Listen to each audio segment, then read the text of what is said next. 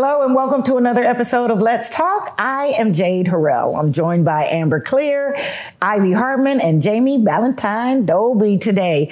Ladies, it's summertime. It's hot toward Yeah. the end. Uh, how are you winding down your summer? In the air conditioning. Yes, yes. no, I am all about soaking up the moment, but also Yeah. planning for the fall. So That's your season, yeah, isn't it? It is. Yeah. She loves it. Yeah. What about you, Yeah. little Ivy? Just coming off a big family trip. Uh, so my baby sister had a big birthday, and so we all went and we celebrated together out of country, and took my little two year old niece with us, and just brought us joy and um, a few sunburns, but we're okay. We're Big okay, sis you know, and Auntie Ivy. Auntie Ivy. That's right. That's right. I love I it. bet you had the best time. You know what? And it's so good because you don't realize it You need to have that laughter and it just Mm-hmm. infuses you, right? And then you come back and you're like, okay, I'm ready because fall's around the corner for me. And then you just hit the ground running. And then Yeah. before you know it, it's going to be summer 2025. You That's know what. I mean? And That's so that's, right. I think Ivy's recharged and ready. Right. How was your sizzling summer It's, season? it's going good. I'm spending the summer at the ballpark, St. Louis City SC, and the Cardinals game. So, um, you know, the the, the theme best. for the year is for the Lou, and so I'm Hey. spending my for the Lou season in the Lou In in the the, stadium. Exactly. So, yeah, so go Cards. We're, what about you? We're gonna come back. Yeah, Shoot. yeah, yeah. Well, you guys know that I'm Yeah. all about. What about you? well, I where you will find me is where the people and programs that equip and inspire our communities to thrive. So that could be the stadium. That's probably going to be in the schools. It's definitely going to be outside, and most certainly at STL TV. Jade. I love her. That's like it. That's it. Just bringing the Exactly, positivity. exactly. But that's what we were about, and that's why this show was uh, so exciting to be able to talk about the United Way. And we have the president and CEO joining us today, so you can learn more about the organization and volunteer opportunities. So stay with us.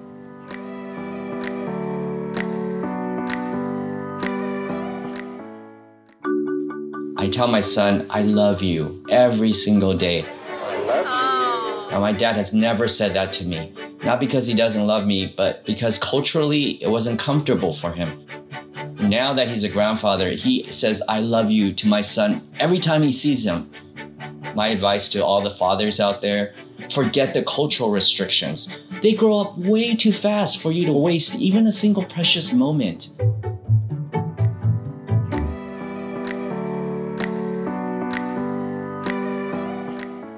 Welcome back to Let's Talk. Our guest today started her career in the banking industry. She moved then to serve children, and she's a woman of many, many firsts. She's now leading the United Way of Greater St. Louis, one of the top chapters in the national organization. Join me in welcoming United Way of Greater St. Louis President and CEO Michelle Dynamo Tucker. Thank you. Michelle, That's welcome. what the D stands for. It does. That's what I mean. And you will see very shortly.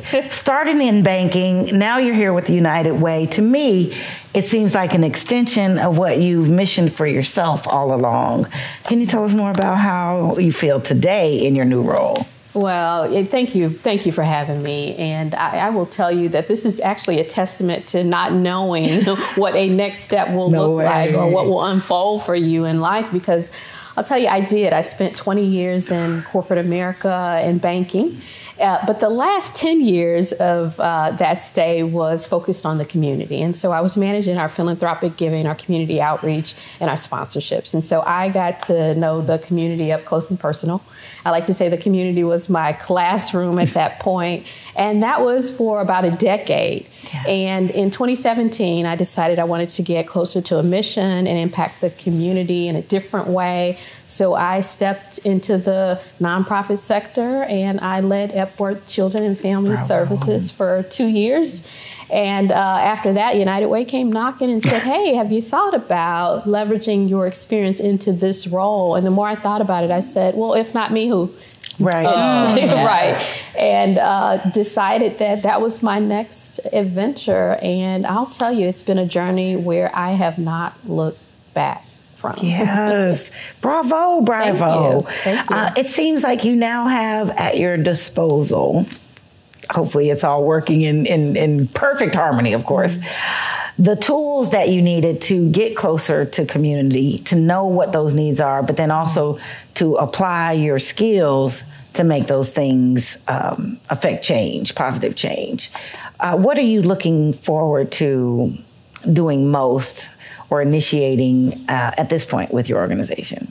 Well, I, let me tell you, our mission is to help people live their best possible lives. And I feel like I am living my passion in aligning to a mission like that because I've always liked to help people. Yeah. And so, what I'd love to accomplish is changing lives. Mm-hmm. And so, we are a resource for the community, as yeah. you know and we respond to people when they are most challenged, when they experience a, a, setback.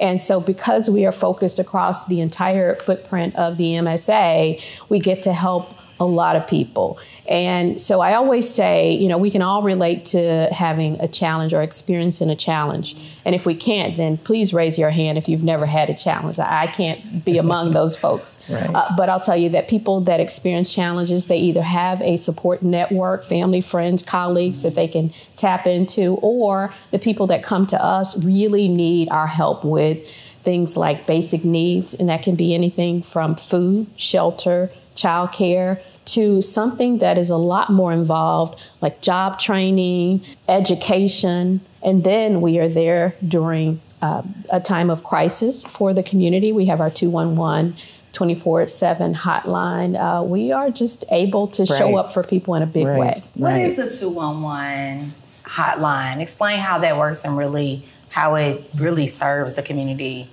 uh, in the best way? Well, I'm glad you asked. So people can, we try to make it as, as easy as possible.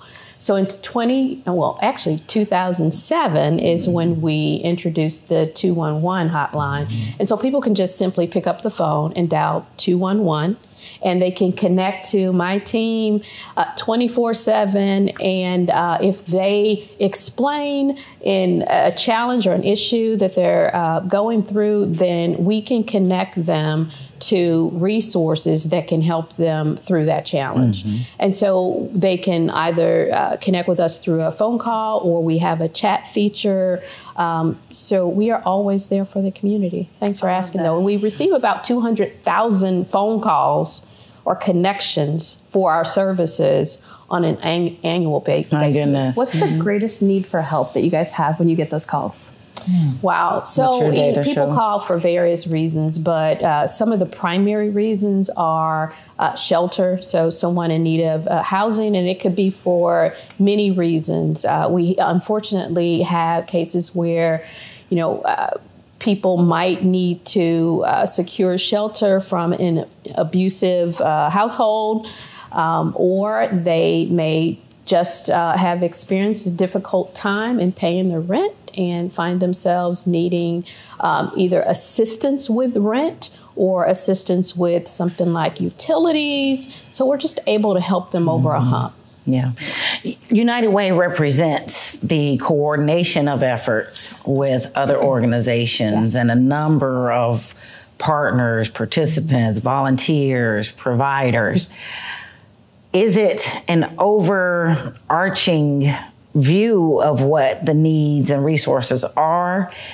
How do you make keep all of those pieces working? We may have um, emergency uh, housing needs, but then how do you coordinate that with the providers of that need or determine the levels of need that are are helped. I mean, you're the largest, the greatest representation of the national organization. How do you make all those pieces work? Well, actually, we have a very local focus. And so that makes it great because we are able to, again, get close to the issues here. And so we conduct needs assessments and uh, just a couple of years ago, we did a really deep dive across the regional area where county by county, we asked people directly what were their most pressing needs. And so we were able to rank them. So going back to your question earlier, even through the 211 hotline and through COVID, we saw that families were suffering with some of the things that I talked about, in addition to um, the need to connect closer to jobs and training So, training that helps to tool and retool people into industries. And you can imagine that through COVID, yeah. that posed an even greater challenge on the other side because some jobs didn't return. Mm-hmm. You're right. right. And so, how do we make decisions on connecting uh, people to agencies? We really do assess up front.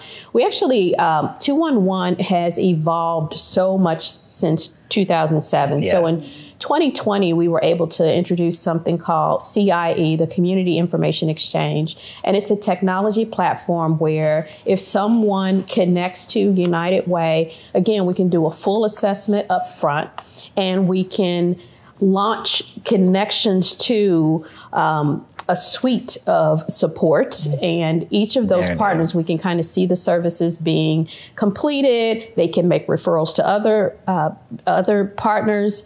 And um, I think that, you know, if you think about it from a holistic support standpoint, this is the best way. Um, and people don't have to keep their, telling their story over and over again, yeah, right? They don't exactly. have to be re traumatized. Exactly. But the way our network w- works, we have 162 safety net agencies that we partner really closely with. And uh, they are a part of this referral system but I'll tell you that they are out there working in the community every day, receiving connections directly from clients. And what we do in cases like that is I find that the best support we can give is the funding, the flexible funding, so that they can scale in a way that they need to and we provide volunteers pretty yeah. easily through our volunteer center. Yes. The list goes on. Sure, I want to sure. talk more about the volunteering option. Yes. Also, is there a success story that comes to mind without, I know confidentiality is key, but like when we talk about a case study that the, that United Way has helped. and we, let's let's let's save that one for, for, after, for right, the second segment. Right. But are you getting a sense of what are the causes for the conditions. You've got story now to say, here's what I'm experiencing. With that, um, from your purview, are you are you able to get a sense of what's at the core? That's a really great yeah. question. I'll tell you, it's complex. It's complex. There's never an easy something to point to. But what we pride ourselves on is looking uh, for root causes. And so through systems change work, and that's something that's we're awesome. very focused on, we try to get to the heart of issues that we see so many symptoms from. Yeah. And so when you ask, you know, uh, what's the, the cause or what initiated someone needing to connect to United Way or one of our agencies, like I said, it varies.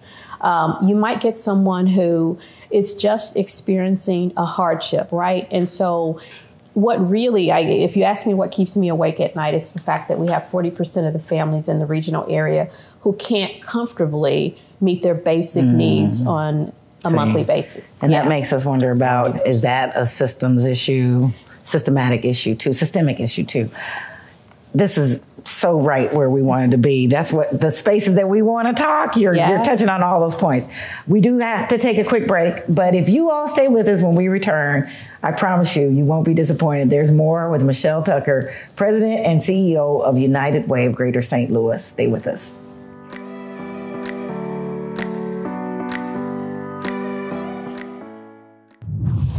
When I arrived in the US at 19, I struggled to find job opportunities without a high school diploma. Everything I have, my education, my career, my marriage, I owe to the Adult Literacy Center and my teachers. Your achievement has set an example for so many students. Most importantly, your daughter. Education was the key that unlocked all my opportunities. When you graduate, they graduate. Visit finishyourdiploma.org to find free adult education centers near you. And welcome back to Let's Talk. We are spending time with the president and CEO of the United Way of Greater St. Louis, Michelle Dynamo Tucker. Mm-hmm. And before the break, I interrupted what will help you understand the work that they're doing through a success story. You were asking, Ivy? Yes, I know it's putting you on the spot a little bit, but in terms of like a, a, case study or a success story that we've seen. Um, I know you talked about losing sleep over people, you know, this 40%. And so let's kind of focus on something on the other side, the, the small little things that we can go, yes, I, that was, that was, that, that worked. That was a win. Yeah. Yeah, so you know, I I, I will focus on um, you know we have a program called United for Families, but I'll, I'll tell you about a, a case, and I'll be uh, very non-descriptive Right. about it. But um, and it not it didn't necessarily happen through United for Families, but I'll tell you that these are the types of cases that flow through United for Families. Um, but when I was at uh, the, the nonprofit previously, it was Epworth actually. Uh, we had a young professional um, who had experienced hard times, and really a spiral had happened. Um, and I, I saw the services uh, at Epworth surround this person and help to lift her into just a, a different journey, right? And so it was uh, someone who had struggled with uh, keeping a job. It was someone who had family uh, challenges that uh, none of us can imagine at the age this person was. Um, so we were able to connect this person to a program that actually United Way funds. It's called BUD. It's a BUD program. It's Building Union, Union Diversity. Diversity. You know about this Yes. program? Okay. Well, tell us. Yeah. Well, Tell us too. I want to be in the bud. It's super cool. It's like a nine week program in It the is. summer, and they actually they have different co- cohorts that start at different times now. And really, it's cultivating more women and minorities in unions. And so, what's great is you, I think you have to be 18 and older in order to do it, but you apply, and then you get to try out all these different unions. And not only are you the person trying them out, they're kind of trying them out to kind of Yes. see what's a good fit because sometimes there's that barrier to getting into mm-hmm. unions. You know, you got to know somebody or you got to know all these other things, and they're really a wonderful way to. Okay, so that's what I that know about her. Is Well, that right? enough How'd said. she do No. on the audition? you know, every, hired. but the wonderful thing about that program is that it unlocks so many avenues for a person. And I'll tell you that everything you just described, we were able to connect her to the program, and people thought, oh, there's a huge math requirement, Right. and it. She passed that, Go like ahead. yes, flying colors. Uh, moved through the program, and at graduation, what's so special about this program is you have all of these employers that attend the, the graduation, Mm-hmm. and they are there ready to offer you an apprenticeship Wow. on the spot that eventually turns into uh, a, a role that unlocks um, you know income uh, That's right. that that again you wouldn't necessarily be able to connect to if you're challenged by some of the Mm-hmm. circumstances that this person was challenged by. But it happened, and we also were able to find uh, housing for Mm-hmm. the person, and it really just changed the course. And this is someone I'm just going to say uh, that you know. Uh, she had mentioned that she had been sleeping in her car for, for a while. So it's just a Mm. Yeah. complicated situation, but that was a success story to me. It was How does that really someone's representative of the way you the way you address the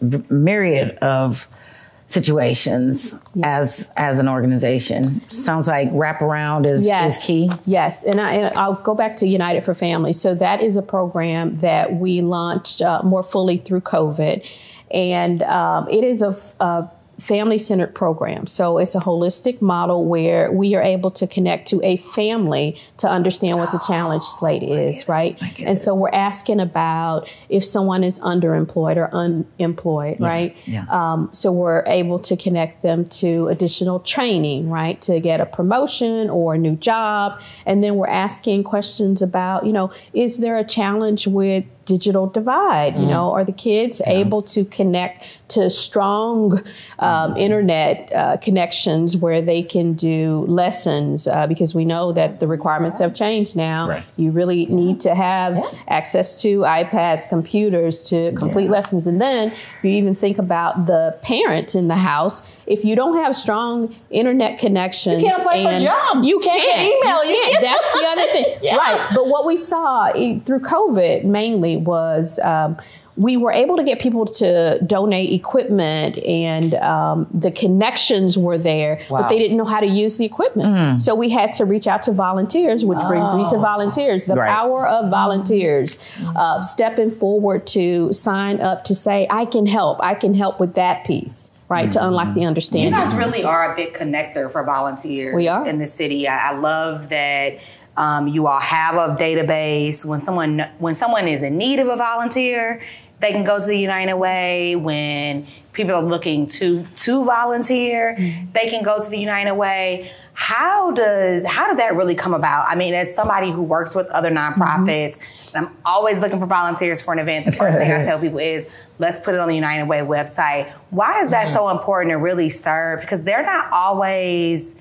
you know, you're not really getting the the United Way is not really getting the direct donation. But how does United Way really benefit, or what's the purpose of serving um, in that capacity for the volunteer and the uh, the funder?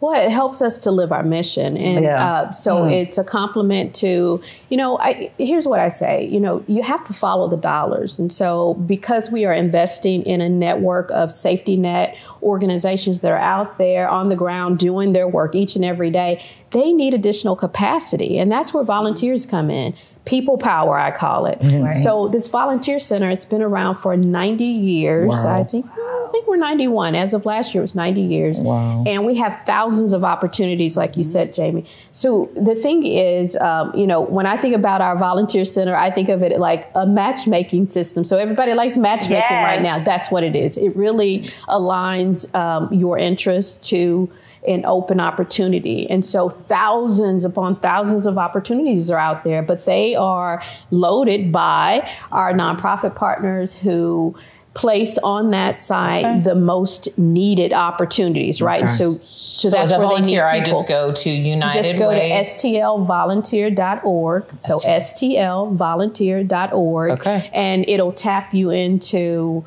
uh, a database like no other. We are the Regionals Volunteer Center. Fantastic. It's amazing. It's amazing. And you know what? The other thing that I thought about is United Way runs a great campaign every fall in terms of raising dollars, yes. right? And my my other employer, they we say this is United Way time, and and I think when I hear you talk about though all the places I'm already giving time yes. or money to or whatever that United Way is partnered with, it's it makes me even more passionate about getting United Way. So how do I as a donor see who those partners are? Is it also on a website? Well, first of all, thank you for being out there in the community and being impactful in the way that you've described. But you can go to helpingpeople.org. That's helpingpeople.org. And you can learn so much about United Way, especially about what I call our hallmark, which is the uh, community campaign. And that is a time like no other. But it's when the community comes together yeah. as one and they make gifts through workplace giving or other means on our website.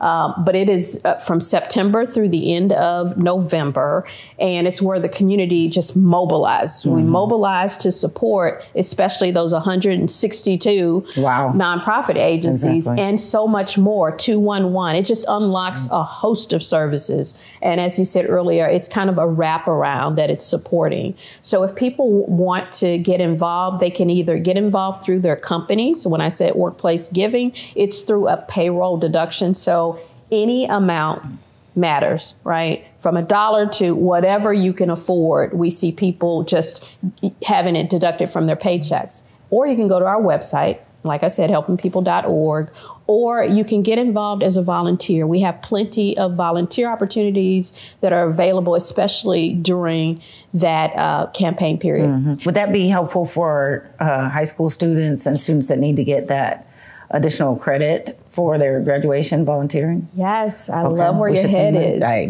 so absolutely. yes, ma'am. And uh, schools, they can reach out to us or they can actually connect on our volunteer website and you can build these large scale volunteer opportunities or engage my team and they'll certainly help with that. One of the things that we recently uh, connected to was uh, an opportunity to uh, get athletes out into the community. And so these were college athletes. Mm-hmm. And so mm-hmm. we have a special partnership with Missouri Valley Conference. Mm-hmm. And uh, it's been two years now, but this past year, it was just such an amazing time that we had.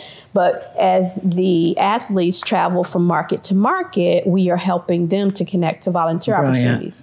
There's another volunteer initiative, and it is where we are partnering with Adam Wainwright through his nonprofit. And I hope you've seen the advertisements here, but we are able to, they're not kids, but the adults, they're young adults playing baseball, but we're able to mobilize the uh, MLB players in every market that they go to, not just the Cardinals, but whoever is inspired Incredible. to connect to a volunteer opportunity. Our United Way network, we have talked to our partners, and we, right here in St. Louis, are helping to connect them across the, the That's nation. what it means yeah, by United yeah. Way, the way to do this unified to Yes. make that incredible uh, impact. Michelle, we have enjoyed being with you. The time goes far too fast uh, for us to enjoy you in entirety and learn as much as you all have to offer. So we understand that helpingpeople.org and stlvolunteer.org are great places to go. So make sure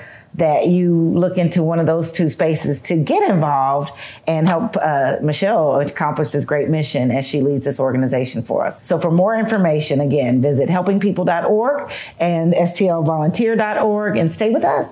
There's a little bit more Let's Talk left when we return. We should have saved it for you. Thank you. stay with us.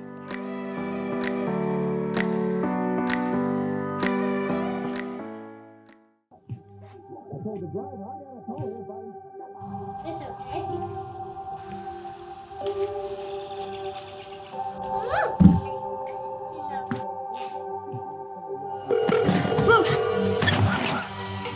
one one. Where's your emergency?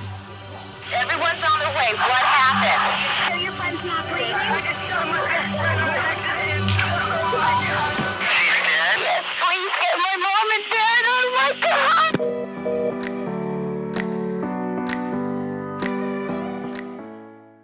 The actual mission is to help people live their best possible lives. That just speaks such volumes to me, like moves me in that. Yeah.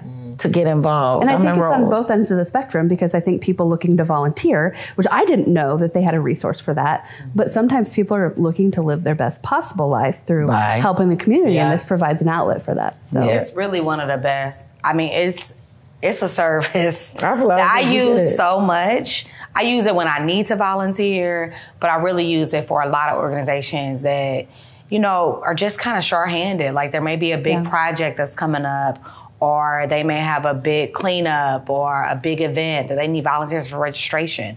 That's Smart. a great, Smart. um, And even great in terms of resources, love right? when somebody, a student or a family comes to me and I'm like, and we have a social worker that helps connect students, but like this is going to be something that I talk about more in my everyday life in terms of, because if y'all know, uh, my, my girlfriend calls me aggressively helpful. and so, I call that. That's a good term. I like Yeah, that. right, I'll, I'll own it, but it's also, you know, it's like, oh, you're telling me you didn't, okay, I got it, I'm going to help you. Well, I'm now gonna give you all go the to the hub. Like you, there's a whole hub. I Right. think that they, That's a I great think point. United Way really is the answer. Yeah. They're the answer um, to a lot of our questions when you talk about giving And back. Michelle, her whole aura and being, Yeah. She's Oh. there. Jamie, I mean, I'm time. so glad that you asked about that 211. It's been mm-hmm. around a while, but Right. sometimes we take those right. things for granted. We even use 911 incorrectly. So, that being such a valid question to understand that first points first. And there, from there, once you get a person, they'll start helping you figure out Right. Be- where you can be best. because you're calling 911 because it's an emergency. Being unhoused is an emergency. Yeah. Needing Exactly. food is an emergency, right? But it's But it's not, not for for, that outlet, right? right. And so they try the best they can, but if if they're booked up, there needs to be another place where you can call. 211 can get you to who you need to be. And Mm-hmm. Yeah. so I love that. Yeah. I love that they do that. Shouts out to Michelle Dynamo Tucker uh, for the work she's doing, for what she's already done, and most certainly for the way she's making the United Way a much more effective, responsive source for all of us here in St. Louis. So that's all the time we have. They want us to stop talking now, I guess. we love to brag about what's great about St. Louis, and now we know United Ways. Exactly. United Way. And what they need Right. are ambassadors and champions for that cause. So make sure you get it in your system. So again, we want to thank Michelle Tucker, who is the president and CEO of the United Way. Um, you can always find us and wherever you go to get your social media and information, make sure you look for us. Yeah. We're on Facebook, X, Instagram, YouTube, uh, or just go to stltv.net. We are there. If you missed a show or want more information about our guests, I'm Jade Harrell for Amber Clear, Ivy Hartman, and the dynamic also Jamie Valentine Dolby, who keeps us sharp. We'll see you next time on Let's Talk. Talk to you later, everybody. Yeah.